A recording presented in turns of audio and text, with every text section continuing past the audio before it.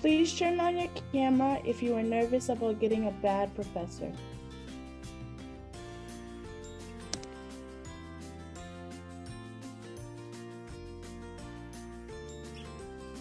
Please turn on your camera if you sought help for academics.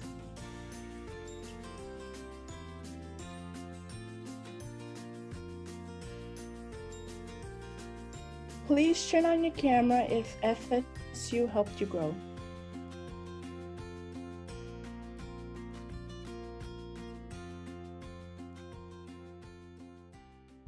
Came into college thinking I knew who I was going to be. I had everything planned out from purposely going in as an undeclared major in order to relieve the pressure of making life decisions so early, to knowing exactly what classes I would take and having a clear image of who I expected myself to be at the end of my college career. Life happened, and I went through seasons of depression, seasons of personal discovery, and periods of growth. Through all the stages of my journey, I can say that I was able to find a resource to go to if I wanted to or needed it. I got involved in various student organizations with the help of student leaders and the Office of Student Involvement and Leadership Development. I worked in different places on campus that were very accommodating to my everyday schedule, one of which was the Chief of Staff and General Counsel office, where I found a lifelong mentor. I even visited the counseling center where I needed to. Here I am now, a senior, and I'm a completely different person than I envisioned. My interests changed from the ways I got involved to the classes I was taking, and I'm glad that the FSU community was able to foster an environment that helped me grow into the person I am today. Please turn on your camera if you didn't know if you chose the right major.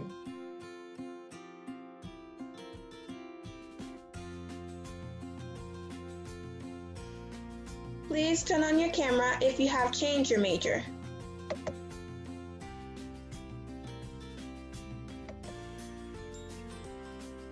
Please turn on your camera if you have stepped out of your comfort zone.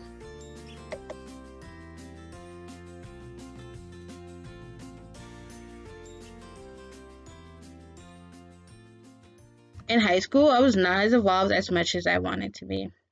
I was a freshman mentor during my junior year, which was the year that the program had began, and in my senior year as well.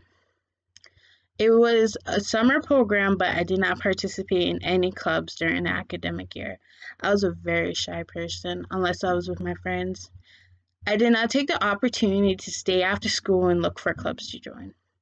In high school, I took acting classes as an elective and I was really scared to take acting classes because that's where we did improv in front of your classmates, read scripts, and I didn't believe I could do it. But it taught me to be a lot more confident in myself. My acting teacher believed in me when I didn't believe in myself. It didn't take until my freshman year of college for me to step out of my comfort zone fully. I took the courage to reach out and talk to my future classmates during Black and Gold Beginnings, I did a lip sync battle with my new friends. The old me would have never done that in a million years. Then one of my friends convinced me to join a student organization, which is called Student Union Activity Boards, also known as SUAB. SUAB is an organization that plans many on campus events and off campus trips as well. You have to interact with a lot of people during those events and trips. When I first joined, I was just a general board member. And then I started running for a publicity coordinator that spring semester of my freshman year. So in my sophomore year, I was publicity coordinator where I handle all of SUAB's um, social media handles and advertise for our events and trips. This upcoming fall will be my second year as publicity coordinator.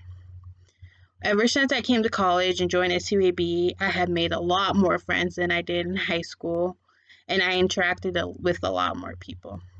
I would not be where I am today if I haven't stepped out of my comfort zone. Please turn on your camera if your friend group has changed since freshman year.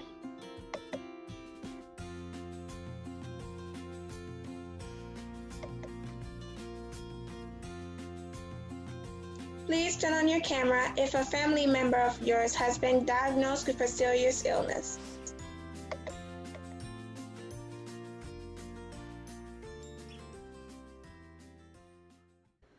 Over winter break of my sophomore year here at Framingham State University, my dad was diagnosed with stage 4 lung cancer. It was completely out of nowhere, it threw my whole family into shock, and everything started immediately changing in my life. All of a sudden, I had this balancing act of checking in on my family, keeping up with my course load, and finding time to make sure I was okay. It was one of the most challenging things that I've ever been through, and am still going through. Thankfully, my mom convinced me to visit the counseling center on campus and to start seeing a counselor there. Being able to talk to someone about what was going on was so relieving and it helped me process more of my emotions. And I also couldn't be more grateful to have such amazing friends that I've made here at FSU who have been so kind and understanding with my situation. They've been my greatest support system throughout all of it. Being through this entire journey with my family, I've said numerous times how lucky I was to also have my family there with me. Being at FSU kept me grounded and it gave me things to look forward to. What college has taught me about this whole thing is that I am much stronger and much more capable than I initially realized. Please turn on your camera if you felt homesick.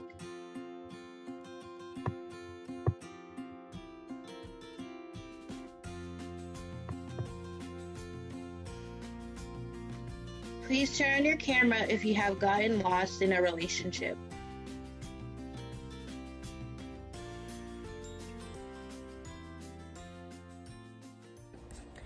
Sometimes love languages don't match. Sometimes the communication isn't there. It hurts to feel this way when you love someone so much. And I felt this way for a little while. I was with a great guy and we loved each other just so much and we were so close. Um, but when the basics aren't there, sometimes things just don't work out. And that was how I got lost. I wanted it to work out so badly that the parts of me I didn't like were starting to come through. I felt really frustrated and there was so much longing and it tore us apart even more. Um, I started to question whether or not I wanted to continue being in the relationship, but I didn't want to waste all the time that I had, spent with him. We were together for two and a half years. Um, but eventually the relationship ended and I felt even more lost for a little while. I hadn't been single as an adult before. Um, we were together in high school and college and I didn't know what parts of my life I wanted to stay independent or what I wanted to share with someone. Um, and I felt myself just wanting to go back to my ex for comfort and still wanting to talk to him, and I knew that had to stop. But here's the good part even though we didn't work out and we have our rough moments, we're still friends now, and we're both in new relationships that just suit us so much better. So, we're really happy now. And remember, even if you feel a little lost, you'll always find yourself with the right person. Please turn on your camera if FSU wasn't your first choice.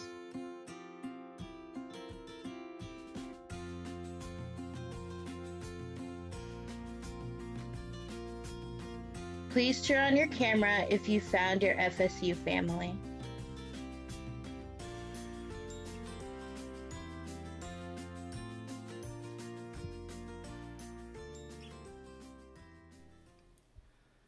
When I first arrived at Framingham, one of my biggest fears was making friends on campus.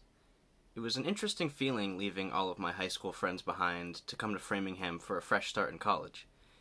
When I first arrived at FSU, I went on a trip called the Wet Feet Retreat to hopefully meet some new incoming students. Both on the trip and once I arrived on campus, I made some friends, and those friends introduced me to other friends. Although my social group grew rather quickly within the first few weeks of school, it still didn't feel quite right. It almost felt as though I was making friends out of necessity versus seeking out people with actual common interests and personality types. In high school, I was also very involved in my school's theater organization, and I heard that Framingham had its own theater organization known as the Hilltop Players. It wasn't too sure if I wanted to join this group or not, but I figured I would at least go to their weekly meetings. To this day, that is one of the best decisions I have ever made at Framingham. I instantly connected with so many people who all shared a love for theater and who took little to no time to get me to see them as people I could trust. Some people from Hilltop are some of my best friends in my life right now, and I don't know what I would do without them. My only advice to you is this if you're worried about making friends on campus, find an activity you enjoy doing on campus. After all, similar people are bound to have similar interests.